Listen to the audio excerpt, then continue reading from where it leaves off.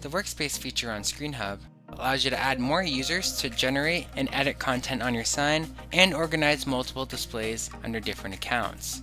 The first feature of adding users can be accessed by going to the top right corner and clicking near your name.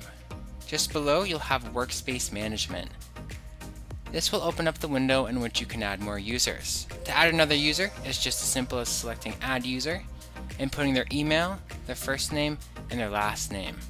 The last thing to do before formally adding them is to give them a role. The role of member and manager are very similar. Both have the option to upload and edit content, be that media or playlists. The only difference between the two is that a manager can also add more users to the sign. Once you've assigned the role, you can select Add User, and now this email address will be able to access the sign.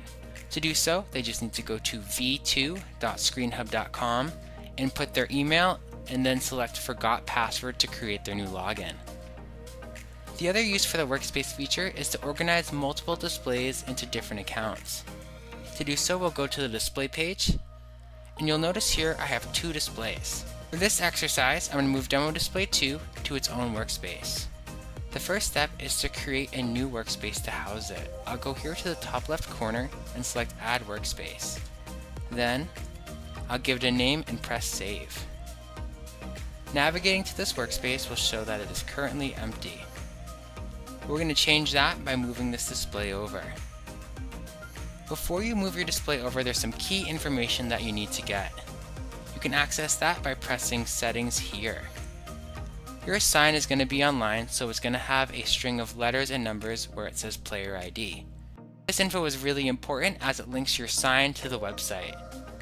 To transfer a display over, you'll need to copy this code and I recommend pasting it somewhere, be it a new tab or a sticky note, that way you still have access to it.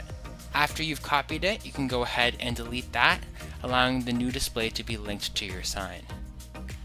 You'll also have your pixel height and pixel width, which are going to give you the dimensions of the sign for the website to use when it comes to content creation.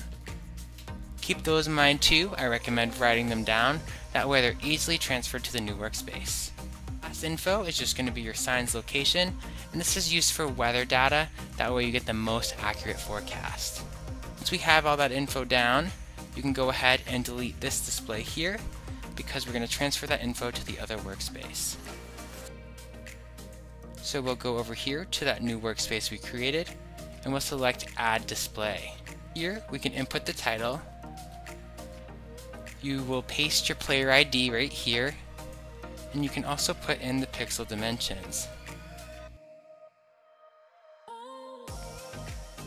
Select the time zone and the address. After you've done all of that, you can press save and now your sign is officially moved over to a new workspace. The next step is to create content under the playlist section for you to program your sign. Taking a look between the two workspaces lets us know that now they're divided into two separate accounts. So using the add user feature, we're able to now assign specific emails to one display and specific emails to the other. For more information about ScreenHub and all of its features, be sure to check out our YouTube channel or the help section of v2.screenhub.com.